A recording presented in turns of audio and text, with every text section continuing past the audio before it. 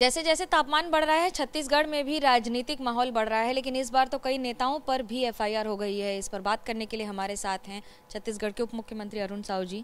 कांग्रेस कह रही है कि बीजेपी डर गई है, इसलिए बार बार अपने नेताओं पर एफआईआर करवा रहे हैं आप कांग्रेस के नेताओं। देखिए, ये उल्टा है।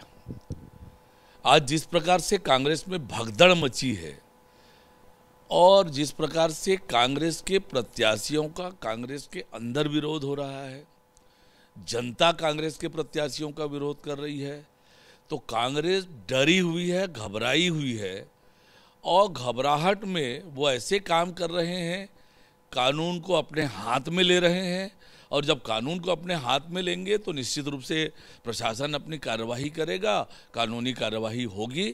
तो कांग्रेस डरी हुई है, घबराई हुई है।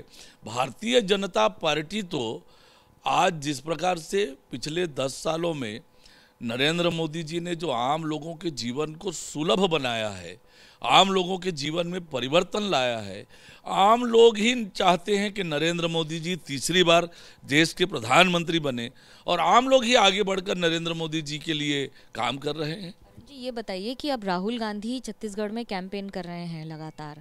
आपको लगता है कि आपकी इन बातों से कांग्रेस मजबूर होगी क्या कि या फिर और ज़्यादा मज़बूत होगी? देखिए, आज तो कांग्रेस मजबूर है।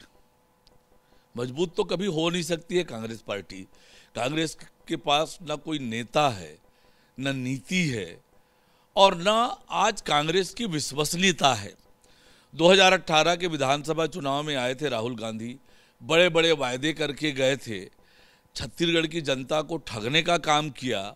छत्तीसगढ़ की जनता को धोखा देने का काम किया, इसलिए राहुल गांधी के आने का कोई लाभ कांग्रेस पार्टी को होने वाला नहीं है, क्योंकि छत्तीसगढ़ की जनता जानती है कि ये ठगने वाले लोग हैं, धोखा देने वाले लोग हैं, फिर झूठे वादों का पिटारा लेकर आएँगे और दूसरी बात तो ये है कि आज छत्तीसगढ़ के लोग भी जान रहे हैं, कांग्रेस पार्टी भी जान रही है कि केंद्र की सत्ता में वो दूर दूर तक आने वाले नहीं है। इवन वो नेता प्रतिपक्ष बना पाएँगे, इसकी भी कोई संभावना नहीं है। इसलिए राहुल गांधी के आने का कोई लाभ कांग्रेस पार्टी को नहीं मिलेगा। मिशन इलेवन, ग्यारह की ग्यारह लोकसभा सीटें भारतीय जनता पार्टी जीतने की तैयारी से काम कर रही है। विधायक ने कहा कि इस इस तरह के शब्दावली का उपयोग किया कि प्रधानमंत्री का सर फोड़ दो या फिर इस तरह के आरोप लगाए कि तीर धनुष से आक्रमण करो। इस तरह की शब्दावली का राजनीति में उपयोग कैसे देखते हैं? ये बहुत दुर्भाग्यजनक है। शब्दों की मर्यादा राजनीति में होनी चाहिए। आप अपनी बात कहें जनता के बीच और आदर्श आचार संहिता होता है, इसके लिए क्या बोलना, क्या नहीं बोलना, कितना बोलना कानून है देश का, और राजनेता हैं आप। राजनेता हैं, इसलिए आपकी ज़िम्मेदारी अधिक है शब्दों की मर्यादा रखने की। पर जिस प्रकार से कांग्रेस नेताओं के बोल निकले हैं, ये कहीं ना कहीं किसी साजिश की ओर स्पष्ट रूप से संकेत करते हैं।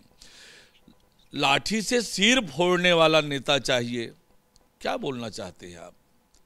और कवासी जीतेगा, मोदी मरेगा, ऐसी भाषा ये क्या बताता है? कहीं ना कहीं ये कोई षड्यंत्र का हिस्सा है।